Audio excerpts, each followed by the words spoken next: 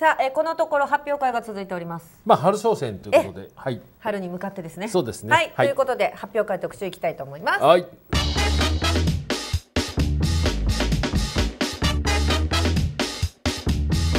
ホーリン高之の携帯しようぜ。発表会特集です、えー、まずは Y モバイルです、はい Y モバイル2017年春モデルを発表ということですはい。えー、今ソフトバンクの、えー、まあ傘下というか、はい。ソフトバンクの一ブランド、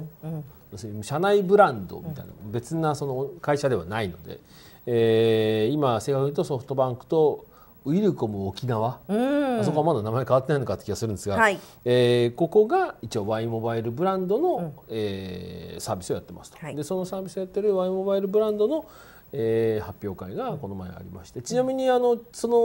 2日ほど前にはソフトバンクの発表会もあったんですけども、そっちもまあそっちは主にまあ学割とかショッピングとの連携があったんですが、まあそれに比較的近い内容ももちろん Y モバイル側でも盛り込まれてるんですが、えーと今回は新機種がえっと4つスマートフォン2機種、えータブレット1機種、えー、w i f i ルーター1機種と、あとはまあ当然まあこのタイミングですんで、まあ春商戦向けに、えーまあ学割はい。ということで、まあまああのえーソフトバンクはヤング割という名前で出てましたけど、まあ、これをやりますということになりました。で、えーまあ、注目すべきはやっぱりまあ端末でしょうということで Y モバイルといえばですね、Y モバイルといえばっていう言い方も変なんですけど、はい。まあ、昔のね e モバイル e アクセスの時代で、まあ、e モバイルといえば何って言ったら、まあ、まあ圧倒的にもうポケット w i f i もうルーターみんなちちっちゃいねこのポケット w i f i のルーターを持って、でまああれがやっぱ圧倒的に売れてたわけなんですけども、実は去年ちょっと様相が変わりました、はい。Y モバイルといえばのヒット作がもう,、もう明らかに変わりました、はい。うんでこれあんまり実はあの報道されてないんですけど、はい。えー実は去年夏に、アンドロイド1、ねはい。番組ではちょっとご紹介しましたけども、シャープの端末が出てたんですがこれが実は去年発売されて、実は最近の Y モバイルの端末の中ではダントツのヒットだそうです。うん。で、えーまあ、当然 Android 1前にもご紹介しましたけども、まあ、要するに Android、えー、と Google が出している、えー、Android の、まあ、最新版がまあできるだけ使えるように、えーまあ、できるだけシンプルな作りにしてますと。逆にその分なんかそのいわゆるあの各メーカーの機能みたいなのはちょっと省かれてるんだけども。でこれはまあ大変去年売れましたんで、じゃあ分かりましたと。じゃあやりましょうということで、今回、えー出てくる2機種は、Android 1がまた2機種出てきます。前は1機種シャープだけだった、今回はシャープが第2弾。から、えっと、京セラも Android 1やります。その Android 1で言われているところの、まあ、アップデートに関しては、えっと、常に最新版の Android を利用できるというのが一つ。それから、まあ、セキュリティですね、のアップデート。まあ、要するに、まあ、Windows とかでいうとこの Windows アップデートみたいなもんですけども、はい。こういうそのセキュリティのパッチがまあちゃんと、えーまあ、提供されますよと、えー最低2年間のアップデート、発売から18か月以内は最低1回のアップデートを提供しますよということだそうです。で、まあ、今回のその Android One、まあ、この、えーシャープの S1 の方は、えっと、ディスプレイがフル HD の IGZO とか、IPX5、IPX7 の防水、から IP6X の防塵対応ということで、えーまあ、カメラ1300万画素、まあ、大体こんな感じのスペックなんですけども、従来の 507SH と比べると、はい。あのディスプレイがやっぱり一段解像度が上がったので前は HD だったんで、まあ、今回フル HD になってこれ結構大きいかなと思います。であとは無線 LAN のお対応規格がまあ、まあ、増えましたとはい。かいう感じなので、えーまあ、かなりあのスペック的には一段上がりましたと。でその代わりに言っちゃなんですけど例えばワンセグがなくなったりとかしてるところもあったりしますが、はえーデザイン的にはあの他の最近のあの僕もこれも今あのドコモのやつ使ってますけどこの最近の、えーシャープさんがやってる、えー共通デザイン、まあ、3キャリア共通で出してデザインの流れを組むものになってますので、まああのシャープらしい感じだけどでも中は、えー基本的には最新の Android と同じという格好で出てきます。ねこれが、まあ、S1 ちなみに、はい、こんな感じです。はいカラーはまあこれ今日持ってるのはホワイトですけど、はい。この他にブラックピンクピンクターコイズ、うんかわい。い、はいあります、はい。という感じでございますね。まあ割とスッキリ系のデザインで、い。いあの周りのこの部分もこのいわゆるあの最近のその共通デザインになってるやつの、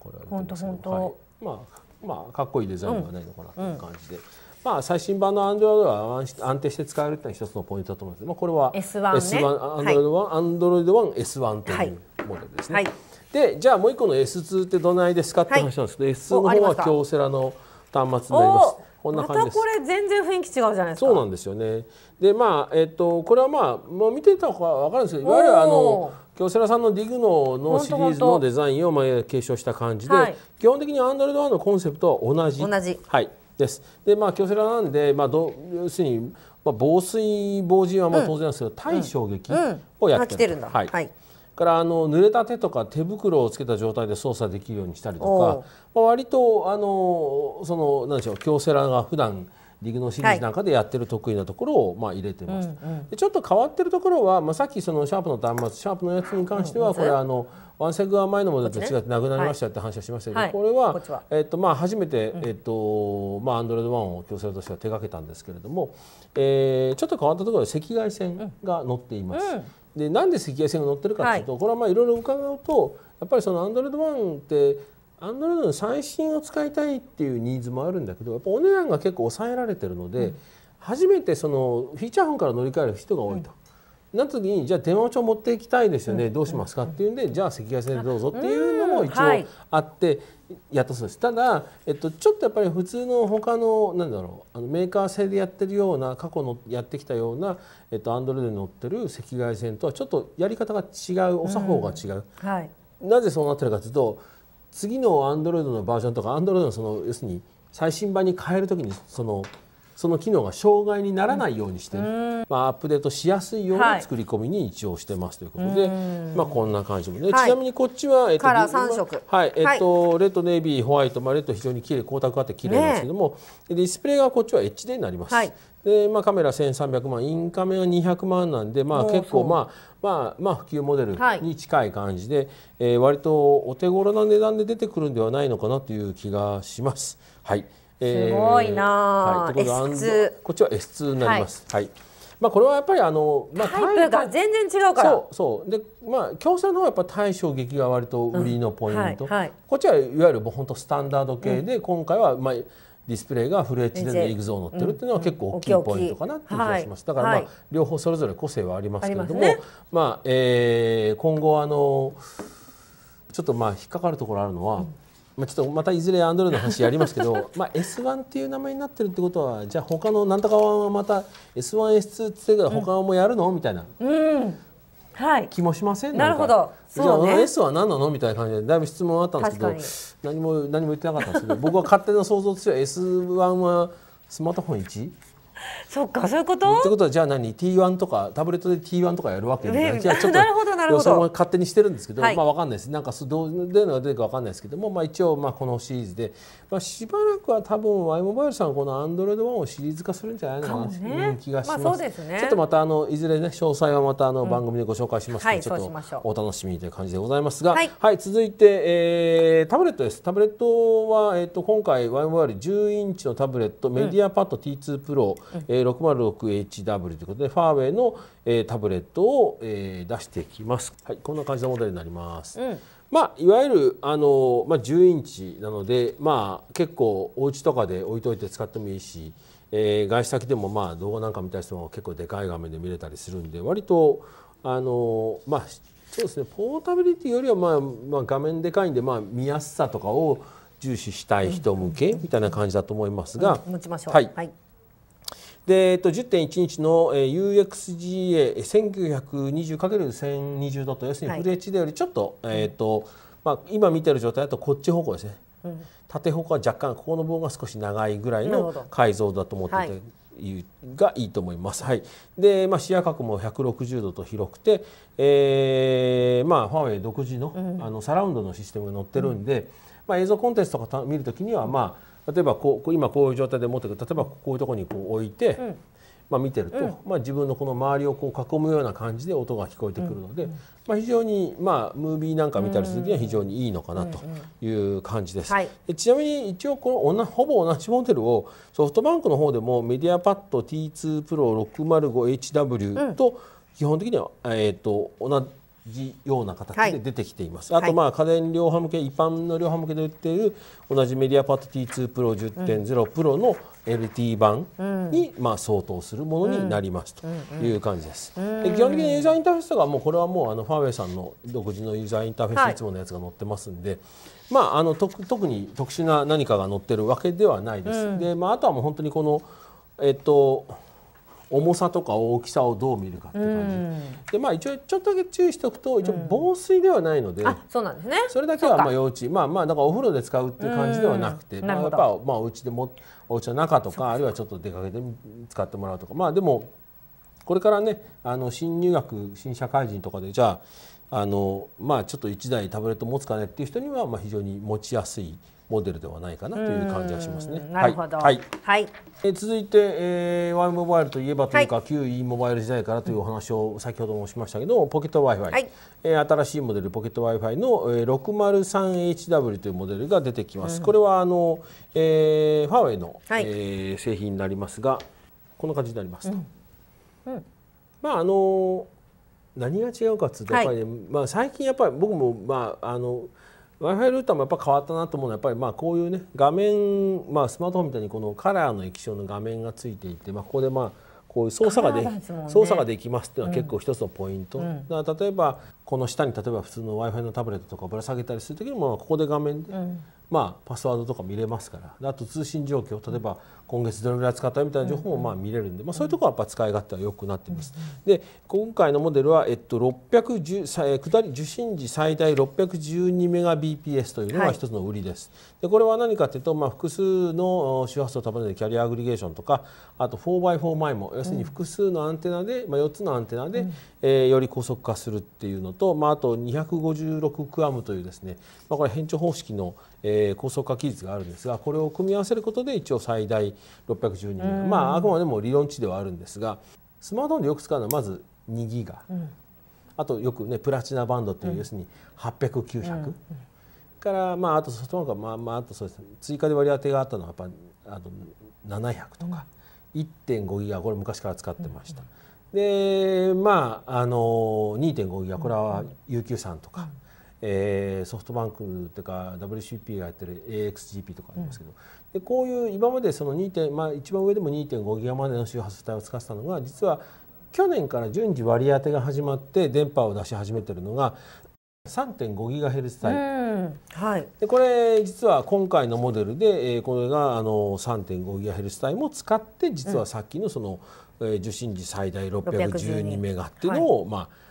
やってるということなので、まあ、新しい周波数に対応しているという意味で言うと、はい。まあ、実は612メガが本当に出せる場所っていうのは結構限定されてると、まあ、ただそうそういう意味で言うと、まあ、先行投資ではあるので、まあ、これを買っておけば、えーそうこの先エリアが広っていくには、はいはい。まあ、順次使えるようになりますよ、まあ、でも都市型なのかなと、最初はまあ東名阪中心で、えーエリアが展開するでしょうから、まあ、そういうところの人にとっては一つ売りのポイントなのかなという感じになると思いますが、はい。えーバッテリーも2400ミリで結構余裕がありますので、あとそうですね一つ注意なのはあれかな。前もちょっとご紹介しましたけどやっぱりあのお尻がはい。外部接続端子はこいつは USB Type-C なので、はい。あのまあそういう意味で言うとルーターとして使うときにまあ一応 Type-C のケーブルもちゃんと用意しておかないと、まあまあいろいろ面倒くさいですよっていうところもこれは要注意の部分かなと。でこれは2月中旬ぐらいから販売が開始されるそうです。はいあとホワイトもありますねそうですね。は。はいいえっ、とカラーはこの今出てるブラックとホワイトと2種類と。で、えーまあこれが一応端末で4機種なんですが、これ以外にはい。えーまあ一応あの発表でチラ見せというか。はい。画面だけちょこっと見せても出てたんですけど、えー実はあのセイコーソリューションズという会社、えっ、とまあ昔ウィルコムに PHS なんか出した会社があるんですが、ここが作ったモデルがえっ、と今度、えー一応夏以降にはい。発売しますよとこれなんかかっこいいですね。はい、でもうこれはあのーチラ見せだったんですね。もうチラ見せです。で物は全然見せてもらえなかったんですけど、はいまあザ電話だそうです。えー、でもこれなんか懐かしいようなかっこいいような意外とシンプルでいいじゃんみたいな。本当にもう本当に普通のシンプルなストレートの端末なんですが、あの一応ソフトバンクのこのマイモバイル担当の、えー、執行役員の寺尾さんが出てきて、まあ、お話をされたんですが、えー、本当にもうザ電話ですと。で要するに従来のフィーチャーフォン特にその Y モバイルっていう大きいくくりの中で考えると実はウィルコムの、うん。旧ウィルコムの PHS の人たちもいるので、この人たちが通話をしたいからっていう時に、まあ、行くモデルとしても、まああのシンプルな携帯っていうのは求められているそうで。まあ、そこでまあこういうモデルをこれから開発をして、えー、まあ今開発中だそうですけども、まあ夏には出したいと。いうことだそうですので、えー、まあちなみにこれはあの LT 対応のモデルですんで、はい、えー、まあそこをまあ機種変更していただいて、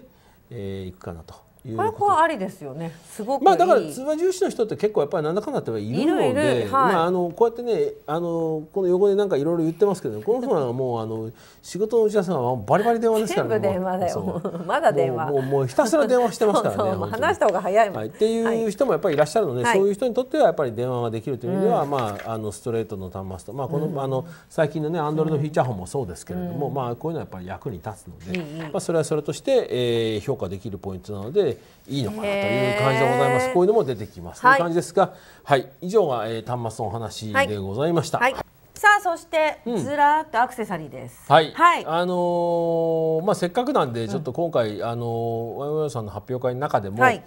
あの展示コーナーでもアクセサリー出てたんでちょっとこれをやっぱり視聴者の皆さんに見せましょうよって話で、うん、えー、今日はアクセサリー、まあ、主にカバーが多いですけども、えー、とちょっとお借りしてきました。結構な種類ありますそう実は割といろいろねあのなんでしょうこうキャリアさんやってる純正のカバーってそんなにみたいな感じはする、うん。はい、してたかもしれないですけど割と凝ってる、うん、意外とデザイン性が多いよ。非常によく、はい、でこれこれ面白いと思ったんですけど要するにあのクリアなんだけども、うん、このまあ絵が描いてあるので、はい、まあ、花柄になるみたいな、えー、形になりますというのがあったりとか、はい、まあ、あと手帳型もありますね。そう手帳型もね結構いろんなのがあってここんなあの少しこう模様がちゃんと。ついてたりするやつとかね。ちょっと高級だわ。うん、ちょっとこう質感いい感じだと思うんですけど、こういうのとか、ね、はい、うん、い。いわいいわ。あとまあ、はい、カラーもね、なんか割と地味なカラーなのかっていうと、こうこういうねちょっとこう、なんでしょうこうペパーミントっぽい色ですかね、うんまあ、こんなようなのとかもそうですけども、はい、割とこうちょっと凝った色とかも増えて、割とバリエーションがあると。ここね前にある前にあるのそうなんですけど、ね、であのもう一つは、はい、あのまあまあやっぱりタブレットもねやっぱり、まあ、あの僕も iPad とか使ったりするのはよくいつもタブレットも必ずケースつけてるんですけど、やっぱこういうねケースがあるとまあ、なんか純正は純正で本当安心と安定のイメージがあるから。そうそうそうそうでやっぱりあのきっちりそのものがやっぱりそのサイズに合わさってるのもそうなんですけども、大体まあサードパーティーのものにもいいものはあるんですが、うんうん、なかなかやっぱり最初じゃあまあ買いましょうかって言ったら純正品を買ってもらうのが割とあとしっかりしてる、まあ、そう作りもしっかりしてるし、はい、ペラペラとかないし、うん、一応ちゃんとそれぞれのサイズに、はい、本当に一番フィットした状態で出てるんで、うんうん、まあこういうあのタブレットのケースなんかも含めて、はい、まあ、持ってもらうといいのかな、ちなみにあのさっきねタイプ C の話しましたけどこういうタイプ C の AC アダプターとかもちゃんと YMR さんの方で前ライン出してるんで、はい、まあ、こういうのも買ってもらうのもありなのかなという感じがしますが、はい、これ Y モバイルショップに置いてある。そうですね、はい、であと、まあ、取扱店家電量販とかでも置いてあることはあると思いますので,、で今日ちょっとご用意はできてないんですけども、うん、あのー、実はあの最近ちょっと一部で人気のあるあのナビ馬ってねこれなななんだ？あの要するに車のハンドルの横にその、うんハンドルのところにちょこっとつけるリモコンでリモコンはあのスマートフォンと Bluetooth でつながってて、はい、ああなるほど。スマートフォンの Bluetooth スマートフォンの要するに、えー、要するに例えば Google マップとかを、まあ、ナビ状態ナビの状態で動かすときに使いますみたいな。ここでは操作できる、ね、そうそうそう。まあつってもまあやっぱりそのなんかあとまあ音声の応答したりとかいろいろ使い道はあるんですが、まあ、これはこういうのがありますと。はい。でこれまあ去年の11月に発売されたもので、はい、これもまあ展示はされてあったのでちょっと一回あの番組でちょっといずれちょっとご紹介したいと思いますので、はいはい、お楽しみって感じなんですが、まあ、こんなようなものがあったりして非常にまあバリエーション豊富に出てますんで、まあ、ちょっとまあチャンスがあればそのワイモールさんのショップで見ていただいていいのかなという感じがしますけど、まあ、非常にバリエーション豊富でございますという感じでございますと。はい、はい、それでは続いてはサービスです。はい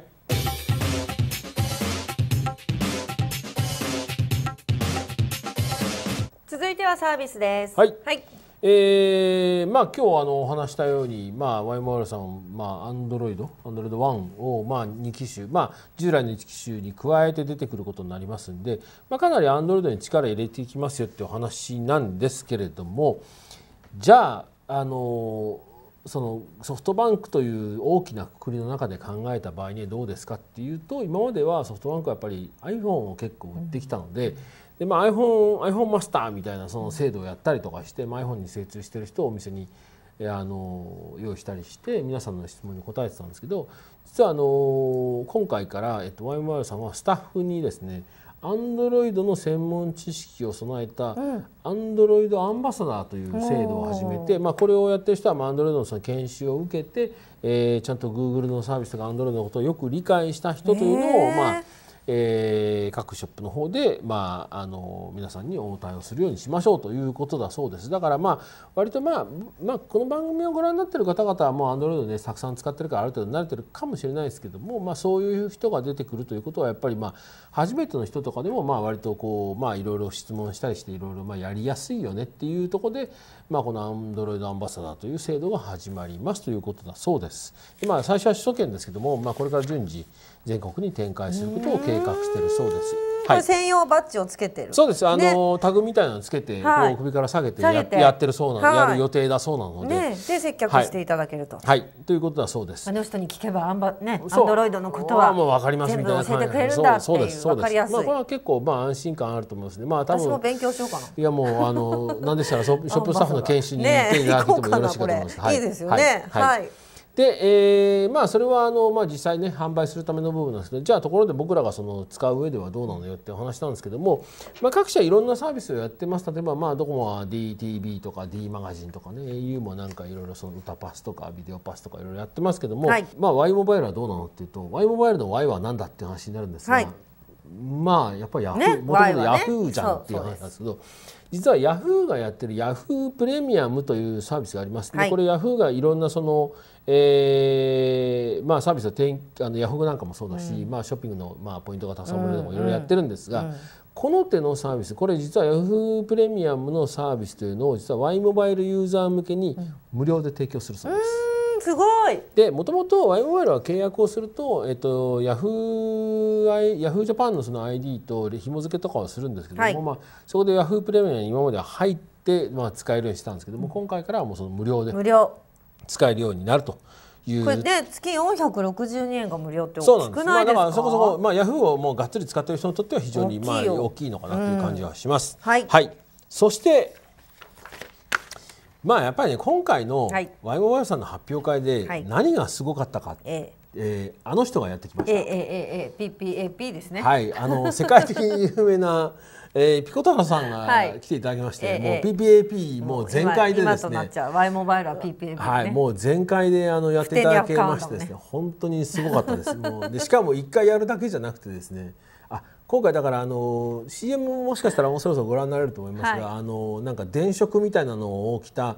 ダンサーのお兄ちゃんたちが、お兄ちゃんお姉ちゃんたちが後ろで踊りまくり、一緒に PPAP をやるみたいなのをやってるんですが、そしてもう一人、えー、我々といえばこの人、まあ、欠かせませんよねっていうので、桐谷さん。桐谷美玲さんもいらっしゃってました、もう大変豪華豪華。ね、あの本当にすごいなと思ったんですが、でなんと、えー福太郎さんはですね、うん、そこであの桐谷さん一緒にやりましょうって言ってですね、うん、えっ、ー、と桐谷さん込みで PPAP やってましたから、うん、もう本当にようやるわって感じがするんですが、はい、でじゃあそれ何を発表したのかっていうと、ええ。ー、実はえっ、ー、とまあ学割をやりましょうということで、はい、えー、今回はヤング割という、うん、まあ他社は学割って言ってますけど、はい、まあ、ワイムラさんはヤング割ということで、えー、おやりになるそうです。うん、でこれはあの、えーとまあ、新規契約 MNP 転入もしくは契約変更でスマホプラン SML に申し込んだ18歳以下のユーザーが対象。で、えー、我々は1年目、はい、あの初めて加入して最初1年はその20え12か月間かな。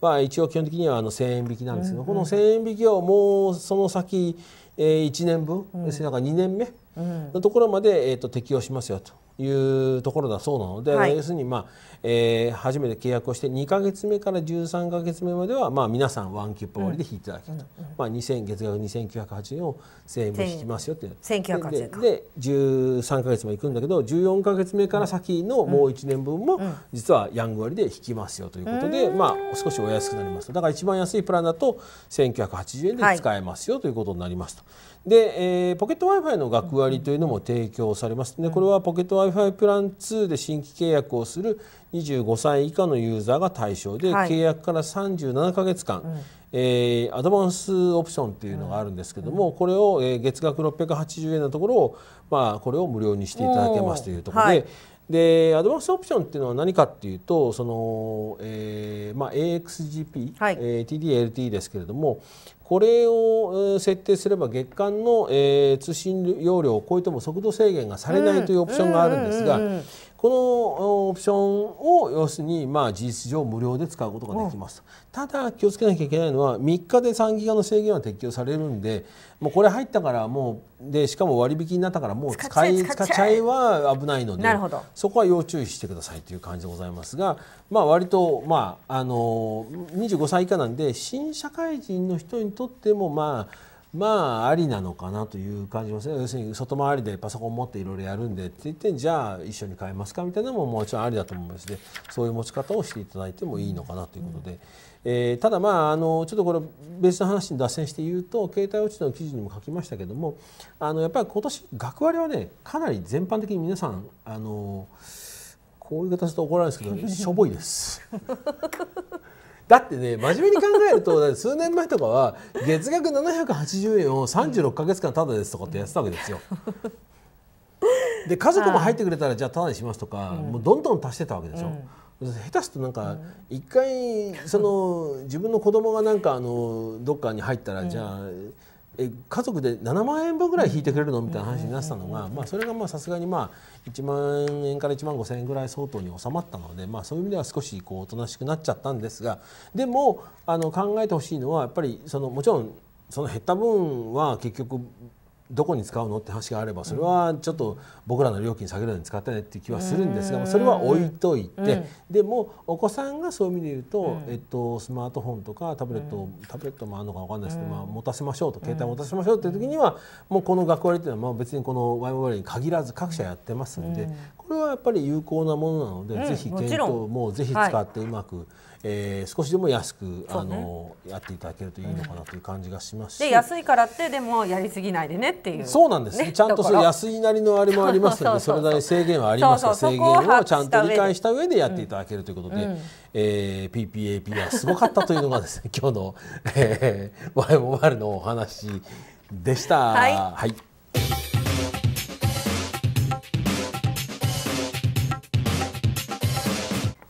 からは2つ目の発表会特集です。はい、はい、えー、マイネオさんです。はい、はい、えー、行きましょう。KFT コムさんの、えー、マイネオというサービス、えー、があります。えっと、うん、あれだね、au のえー、回線を借りた、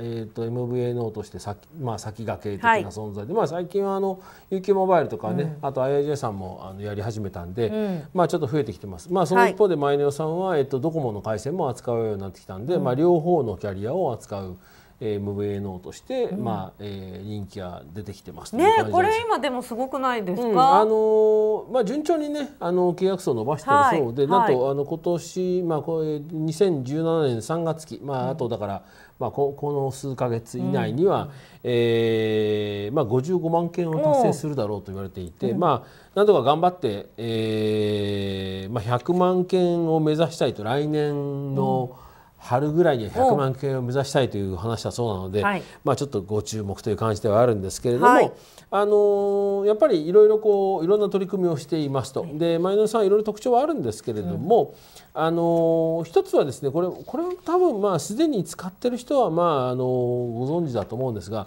うん、マイネオーというですね、うん、あの実はユーザーを一と一緒にそのこういろいろこうサービスを作ってったり、うん、楽しんだり知恵を出し合ったりするような、うん、まあなんつうのかなコミュニティサイト兼、まあ、ファンクラブみたいなのがあって。まあ、ここからいろんなものがやってきてますというところがあってユーザーから上がってきた声とかを吸い上げて、まあ、いろんなさその使い勝手を変えてみたりとかいろいろやってるんですけどもこれがまあ一つマイネオさんの強みとしてやってきてますとい。う話まあご紹介されあのマイネオちょっと変わったね他社にないユニークなお話でいうとマイネオのあのフリータンクっていう機能があってこれ何かというとそこに参加してる人たちがもう今月今20何日なんだけど今月俺まだあと3ギガぐらい余ってるんだけど誰か使うみたいな感じでそこに登録すると、うん。えーまあ、他の人がまあじゃあ1位がもらもう今月最後厳しいんで1位がもらえますみたいなことができるような仕組みがあって、まあ、これは結構実は人気あるただちょっと先あのあの1月の終わりにだいぶ枯渇してちょっと大騒ぎになったりしてることもあるんですけれども、うん、でもまあこういうその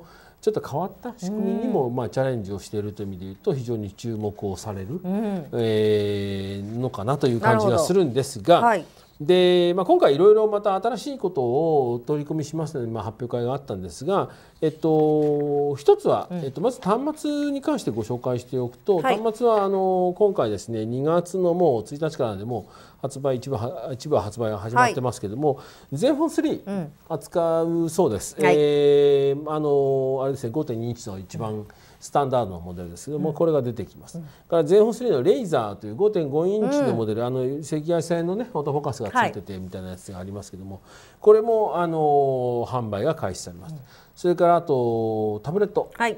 でこれは MediaPad ファーウェイですけどメディアパッド T2 プロ、うん、T28 のプロ8インチのタブレットが出てきます。で、えーまあ、これ今言った3つともドコモのプラン要するに D プランでも au プラン、うん、au の A プランでも、うん、どっちでも使えるようにちゃんとなってますと。だから例えばすでに今例えばマイネオを持ってる人が、まあ、買うマイネオの例えば D プランを持ってる人が買ってもいいし、うん、A プランの人が買ってもいいしもちろんどっちかを使いたいから買うっていう人でもどれでも OK です。というあたりはちゃんとしてます。で、えー、新機種をもう今の段階でもう扱います宣言をされているので、えーまあ、詳細はまだ分かりませんが、はい、どこのメーカーさんなのかも明らかにしてもらえませんでしたけども、うん、これを一応扱う予定にしているということが、うん、えー、明らかになりました、ね、まあ、これもちょっとお楽しみにという感じでございます。はい、で、えー、マイネオの中でも今回他にもいろいろサービスとかいろいろ出てきてるんですが、えっと、一つ、えっと、今回、まあ、多分、まあ、おそらくあれかな、まあ、これから MVA の方が一番伸びていくためには必要なんだろうなと思うところではあるんですが、うん、あの要するに、えっと、サポート体制頑張りますと、うん、それは何かっていうと3月から始まるんですけどもまず訪問サポート。でこれはあの9000円出張費込みで、えー、初期設定から各種アプリの設定からマイネオさっき言ったねそのコミュニティサイトファンサイトのそのマイネオにもその、えー、登録までやりますと。いうのをやってくれるそうです。でそれからもう一つ、えー、5分かけ放題サービス、まあ、これはあのよく、まあ、僕も話をしますけども MVNO さんの音声通話のプランっていうのは、えー、一番容量の少ないんだと、まあ、大体1500600円ぐらいだけども。えー、通話料がね、うん、まあ、データは3ギガぐらいついてるんですけども、うん、通話料は普通で30秒20円がかかってくるので、うん、まあ、片やキャリアさんはもうね、あのかけ放題がメインで、まあ、時間制限の、要するに 5, 分5分かけ放題とかは、まあえー、もあります。いわゆるライトプランもありますけれども、はい、えー、なので MVNO さんに移ったのはいいんだけど通話した途端にめっちゃお金かかるやんみたいな話になった時にじゃあどうすんのっていうんで実は今回マイネオさんも実は5分かけ放題サービスを提供されます。はい、だから月額850円で1回あたり5分までの通話が何回でも無料になります。だから電話して5分もうすぐ5分の後1回切ってもかけるとか全然それで一日中かけていただも全然 OK ですという感じでございますので、まあ、こういうのをやりますということで、まあ、狙いとしては、一つあるのは、まあ、当然あの若い世代、その春商戦なんでその学生さんとか初めて持つ方とか、うん、まあ、お子さんに例えば持たせましょうみたいな時にも非常に便利なんですけれども、はい、もう一つ核としてあるのはやっぱりシニア世代。の人たちがそろそろ、うん、まあちょっとスマートフォン買い替えるかな、うん、でもまあちょっと高いしなみたいな時に、うん、あじゃあこれだったら少し料金安くなるじゃんっていうんででも分かんないなと思った時に、はい、まあ、特に例えば皆さんだと、えっと、皆さんはもう今一人で例えばそれぞれの地域で住んでるんだけど、うちの田舎にじゃ大丈夫なのみたいな話でうちの両親大丈夫かなって時は、まあ、この今言ったその訪問サポートとかをつけてもらえれば、もうそのままそこのスタッフの方が行ってお任せすることができますというのが、まあ、出てきますんで、これは非常にいいことかなという感じがします。そして、えーまあ、マイネオさん今回あのいろいろやってきてる中でえーまあ、これも新しい取り組みなんですが、はい、これはサービスではないんですけれども CM、うん、あのキャンペーンを、うん、えー、すごい売ってます。今、まあ CM ね、そう CM 出てるんですけども、はい、なかなかあのよくできてきて「はい、マイネオ」っていう、あの音楽とともに始まるやつですが、まあ、これが、えー、まあスタートしてますので、うん、全国で今回から、えー、放映されるそうです。もともとねマイネオ自体はあのさっき言ったように K オプティコムというあの関西の会社なので、うん、メインは関西で最初やり、うん、それから関東、まあ、一番大きいエリアですがこれやり。で一部、えー、中部でも、あの CM 打ったことあるそうなんですけども、は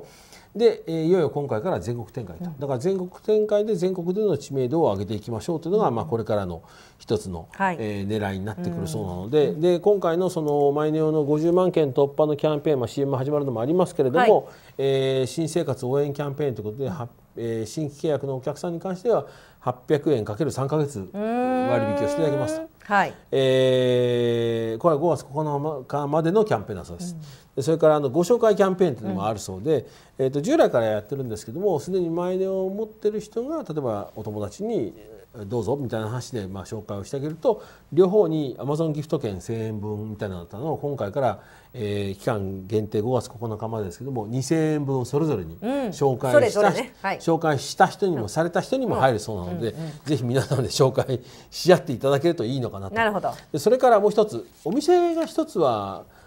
ね、MVNO さんないと困るよねって話なんですけど、今あの、えーと、確かグランフレント大阪に実はマイネオショップあるんですけども、はい、今度渋谷で新たにオープンしますんで、はい、えー、1階にカフェがあって、うん、えー、上にあの、まあ、なんかショップがあるという構成になるそうですけども、えー、マイネオ渋谷というのが今回から、うん、えー、始まるそうなので、まあ、これもちょっとあの東京地区の方は見ていただけるといいのかなと。で今一応ですね講話できることによってマイネオの大阪それからマイネオの、マイネオショップ名古屋っていうのがですね、うん、今回マイネオ渋谷ができます。うんうん、でできればなんとか頑張ってまあ一応あの店舗を増やしていきたいんですが、まあ、まずはタッチポイントを増やすという意味では SIM とかあるいはその端末の即日受け渡し可能な店舗っていうのは一応なんとか今年の3月末までにはなんとか全国で100店舗用意したいと、はい、あのショップっていう意味じゃなくて、はい、まあ、家電量販の中のコーナーなんかも含めての 100, 100箇所、一応用意したいということだそうなので、まあえー、頑張っていただけるかなという感じでございますので、はい。はい、なんかこう新しいこう可能性と新しいユーザーというか、まあ、だから認知をどれだけしていただくかということです、ね、そうなんですね。あのまあ、これ言い方は変なんですけども、はい、あのやっぱり MVNO さんってまあ言ってしまうとですね。いろいろあるわけですよ、うん、もううんそこでそうそういうことするかみたいな人もい悪い意味じゃなくてね、はい、まあ、そういう仕掛け方するかみたいな会社もあれば、うん、まあなんかとにかくその真面目に実直に取り組んでるみたいなところもあるところもあるし、うん、まあ、いろいろタイプあるんですけど、はい、まあ、あのマイネオさんそのマイネオとかケオプティコムさんは大阪の会社電力系の要するに通信事業者だったんですけども、まあなんかそういうふうに聞くと、まあ、大阪だからなんかこう商売熱心でみたいな感じがするんですけどそうじゃなくて割とねねやっぱりね真面目な会社なので、本当にコツコツやってらっしゃるなって感じがするんではい、であとまあ割とその今回の CM なんか見ててもいいんですけど、うん、非常にキャラクターが明るいのと、うん、あとファンの人たちがやっぱすごい熱心なので。うんだそのファンサイトとかを見ていただけるとやっぱり非常にこういろいろこう分かんないこととかも教え合ったりとか、情報提供したりとかしてるので、まあ、こういうのがついてるっていうのは一つの売りのポイントではあるので、まあ、そういうところに入っていくという形でもいいと思いますので、まあ、ぜひ皆さんもそのもし周りに持ってる人がいればね、そのお互いに紹介していただいてやってもらうといいのかなと、あとまあマルチキャリアっていうのは非常に大きいと思いますんで、A プランでも D プランでもどっちでもいけますから。あのまあそういう意味で言うとドコモのネットワークでも A のネットワークでもまああの、えー、使うことができますので、うん、まあ、これも一つのあの売りかな。例えば、うん、スマートフォンは A プランで持ち、うん、じゃあタブレットは D プランで持ちみたいなこともできますんで、これはもう皆さんの自分のお好みで合わせて使うことができますんで、まあ、こういう形でお付き合いしていただけると。で渋谷にも来ると。渋谷にもお店ができますのでぜひあのはい。あのぜひ皆さんも行っていただければと思いますし、ね、なんか勉強にもなりますね、そうですね、うん、あのまあ知らないこと知ったりね。そう。あのいろいろこう他のキャリアさんとはまた違ったあのやり方をしてますのでぜひちょっと皆さんもお店にチャンスがあれば行っていただければと、はい、この先でもちょっと楽しみですマイネオさん。マイネオさんねまだ他にもどうもいろいろこう準備をされてるようなのでちょっとまた、年内にまた何本もいろいろニュースが出てくると思いますけど、ねはい、皆さんまたちょっとね、気にしていただければと思います。はい、はい、頑張って紹介し合っていきましょう。はい。はい。